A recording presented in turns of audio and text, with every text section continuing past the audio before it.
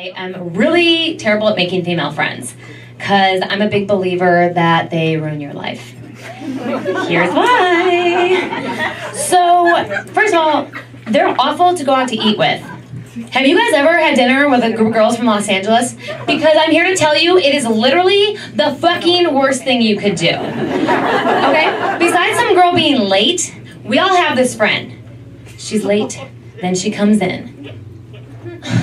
And she's so dramatic, you guys. She comes in and she sits down at the table and she's like, Oh my god, you guys. I was running around all day. I was so busy. I forgot to eat. I'm starving. what? What are you talking about? What do you mean you forgot to eat? You guys, I will never forget to eat. Why? Because I love food. It's delicious. Two, they leave you hanging, and I'm talking big time. I was in DC a few weeks ago, you guys. I have a friend. She's like real high up in politics. Like, can't tell you what she does, but she's pretty cool. And she wanted me to go to this awesome party with her. But she thought my outfit was a little inappropriate. So she I borrowed from her a black top, a black skirt, and black boots. Black top, black skirt, black boots. I paired it with a cute yellow belt. So we're at the party, and I'm talking to this guy who is approximately 37 lines of cocaine into the evening. And the guy takes a step back, like mid sentence, and he like slurs at me and goes, Who invited Batman to my party?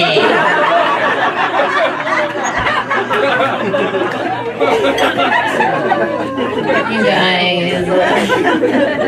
I look like Batman, and my friend never told me. So rude. Three, their problems become your problems. Have you guys ever noticed on group of friends, like Vanessa doesn't like Becky, nobody can like Becky? My friends take it to a whole new level.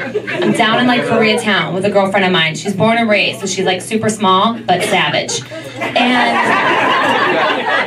I look over, and her name's Lucy, and she's getting into it with a group of Korean girls. And I'm like, I don't speak Korean, but like friend law says, I have to suss out the situation. So as I'm walking up, Lucy switches from Korean to English long enough for me to hear.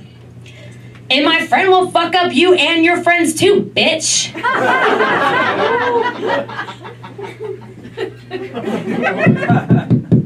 Lucy, uh, what friend are we talking about? Did you call for backup? I suffer from extreme claustrophobia. And uh, and uh, that's basically translates to I have an irrational fear of enclosed spaces and also like a loss of airwave. I didn't think it was a big deal. Know a lot of people do it until I started dating this guy recently, and uh, it was going great. Like we were really we were really great together, and we were one night back at my place having sex, and as he was about to finish, he placed his hand over my mouth.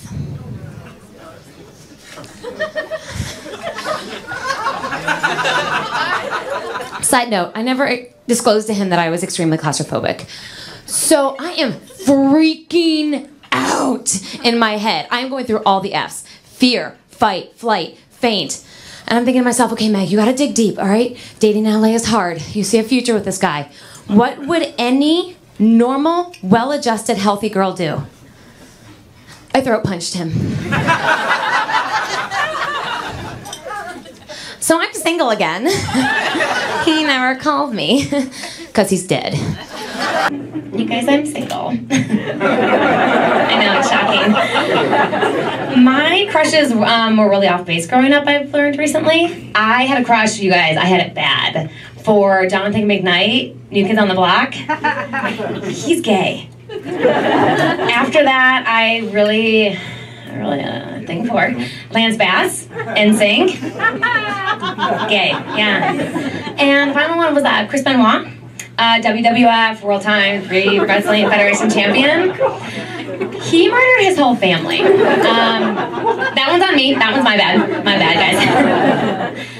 One thing I am, I will say, one thing I'm really good at when I go home. Um, a lot of actors get like nervous when they have to go home because it's like running into old friends or like frenemies, and it becomes like a competition. Like, what are you doing with your life? Doesn't bother me. I'm prepared. So when I ran into my little frenemy, we'll call her Jenna, because that's her name.